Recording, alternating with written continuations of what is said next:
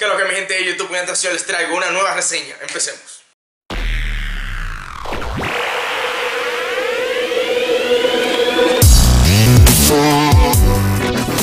Y bueno, en esta ocasión les estaré hablando sobre One Piece Field Gold, la última película que ha salido de One Piece. Y antes de empezar con la reseña, tengo que decirles que esto va a tener mucho spoiler. Quiero desahogarme, quiero hablar con libertad. Así que si tú no has visto la película, ¿Qué carajo está pasando contigo? A esta altura de juego, vete, vete rapidito a ver la película y luego venga a ver este jodido video, ¿ok? Si tú te quieres spoilear, ese es tu problema, pero bueno. La aventura de los Mugiwara en esta ocasión empieza de forma rápida.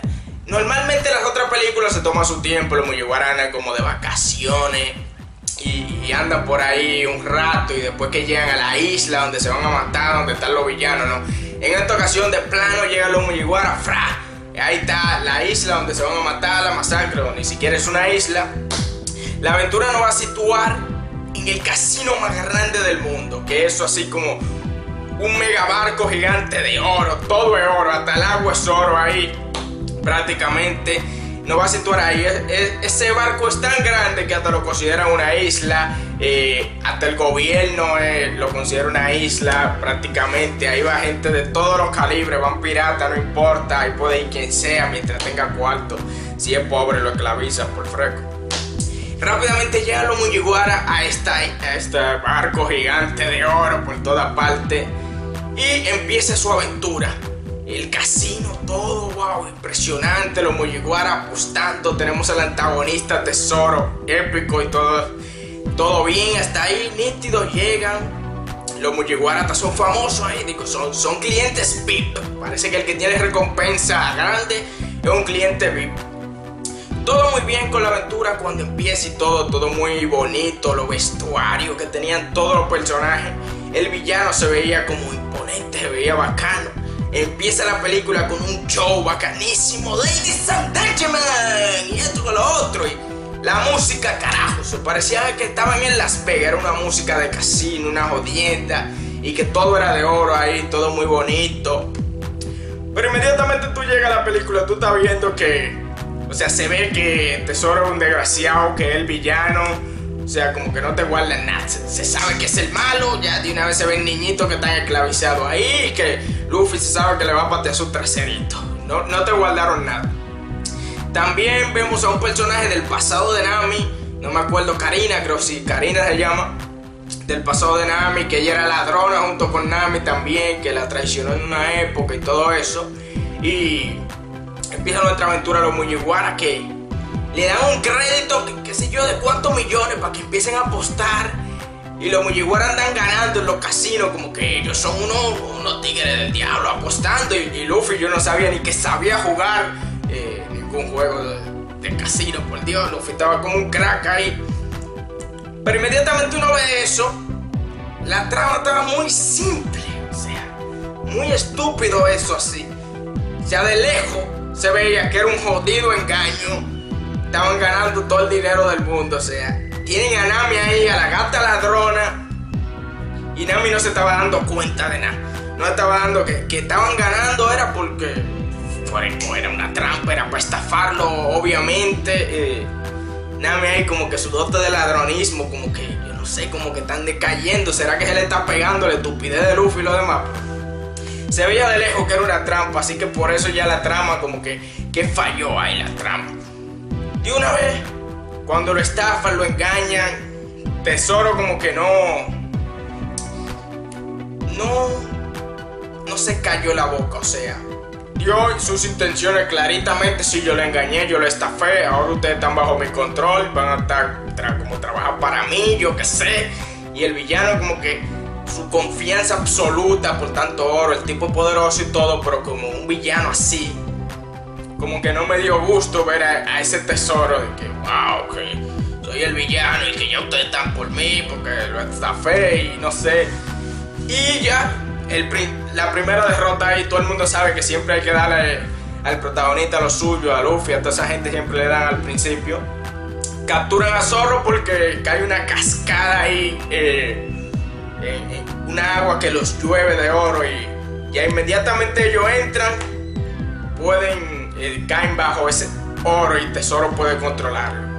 Básicamente muchos criticaron a Zorro de que, ay miren a su zorro, los fanboys de Zorro, como lo capturó Tesoro, como lo capturó Tesoro, sí. Pero, o sea, podían hasta capturar a Luffy. A cualquiera de los Mugiwara Tesoro se podía llevar.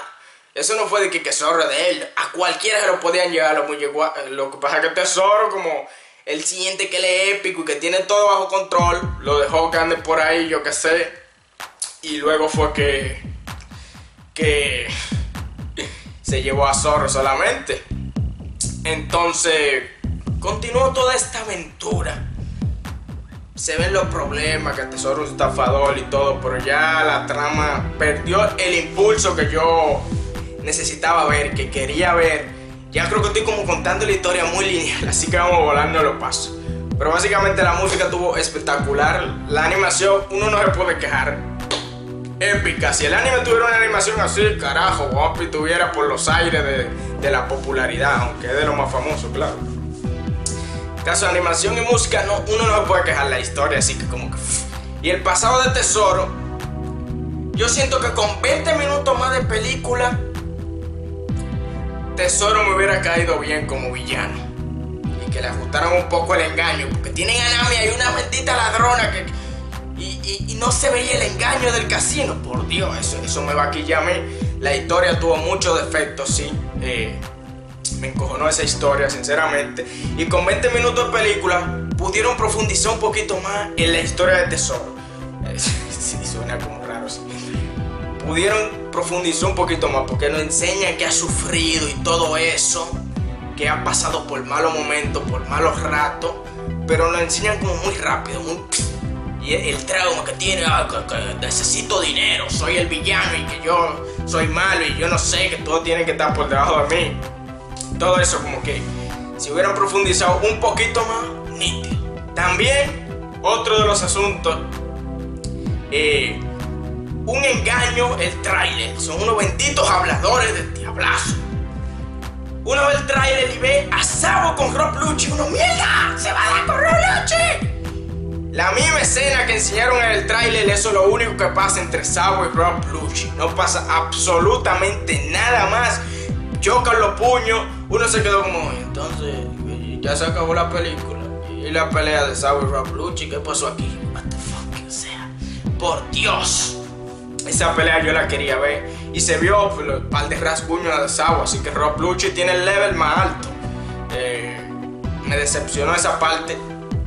Ya luego pasamos después de, todo el, el, desmadre de la captura de Zorro. Sabemos que Luffy encontró la debilidad que es el agua y todo eso. Eh, pasamos al escenario final, a la batalla final, digámoslo así.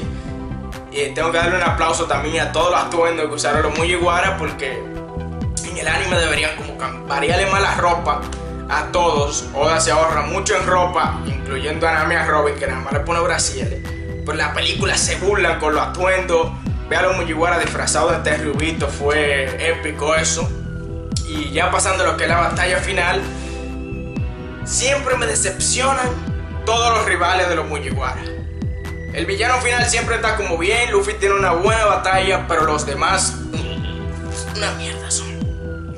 Tesoro se transformó en este super mecha gigante épico, una batalla que Luffy hasta sacó el Here For, eh, tuvo bien eso nítido, le dio un par de lucha, yo me atrevería a decir que cogió tanto trabajo como con Don Flamingo, aunque una película hay que hacer las cosas más breves. Pero sus subordinados no es mierda. O sea, sus subordinados se ponen la armadura de oro que lo vuelve más poderoso y yo no sé qué. Y muchos de los Mugiwara que en cada película o pelean con soldaditos mierda o no hacen absolutamente nada. Mientras Luffy estaba peleando con Tesoro, ahí andaban algunos de los Mugiwara como en el aire, como nada más mirando a Tesoro tirar puñetazos y sorprendiéndose, carajo, hagan algo. Oda, gente que hace la película, hagan otros, unos personajes secundarios, unos villanos secundarios que den batalla, que sean épicos, carajo, porque no dieron la talla para ninguno, decepción total, los Mugiwara se a otro level. Entonces ponen a tres villanitos mierda, tres o dos, aparte de tesoro, y eso no le da ni para la boca a ninguno de, los Mugiwara, sinceramente. Y ya por fin, básicamente, eh, le gana a Luffy a Tesoro con su Power Up, su bazooka, Fu del Here 40 y le gana, derrota a los Mugiwara, a toda su gente. Creo que me estoy extendiendo mucho, pero quería desahogarme bien. Y básicamente se destruye, de que el barco que va a explotar y eso. Aquí cuando otra vez la cagaron, o sea, no la cagaron, pero Nami se dejó engañar otra vez. Karina, la amiga de la infancia. Ah, no, que va a explotar. Mentira, yo me voy a robar el barco gigante y me voy a hacer billonario, trillonario, yo qué sé, pero... Nami como que se le fue la guagua en esta película, como que no le llegó al... No sé, se dejó engañar mucho Nami. Robin también, una tipa tan inteligente como que... Bueno, la historia no fue el fuerte, sinceramente, de esta película. Aún así, un peliculón de One Piece, entretenido, muchos chistes, pelea buena de, de la batalla de los Mugiwara, que para nada épicas. Hasta el plan de infiltración parecían espía y todo, eso, fue muy bien. Eh, pero la historia tuvo un par de cosas que como que... Pero bueno, esa fue mi reseña de One Piece Film Gold. Espero les haya gustado y si es así, pues pídenme más, yo puedo hacer de las otras películas de One Piece, de películas de otros animes, cualquiera, pídenla ahí abajo en la descripción. En los comentarios piden películas que quieren que yo reseñe. A ver, quizá empiece por la número uno. Yo no sé, piden ahí abajo. Comenten qué les pareció la película One Piece Field Gold. ¿Qué les pareció a ustedes? Ustedes también le ven estos mismos problemas de que a Nami como que se le dejó engañar muy fácil, ¿ok? Y bueno, ya vamos a dejar el video por aquí, pero ustedes saben qué hacer. Si les gustó el video, me dan su like. Si les está gustando mi video y me da más ganas el video, comparten con sus amigos para que te escriban por el mundo entero. Así me ver este canal y yo me emocione más. Se pasa por página de Facebook, está ahí abajo en la descripción. Y bueno, ¡ja!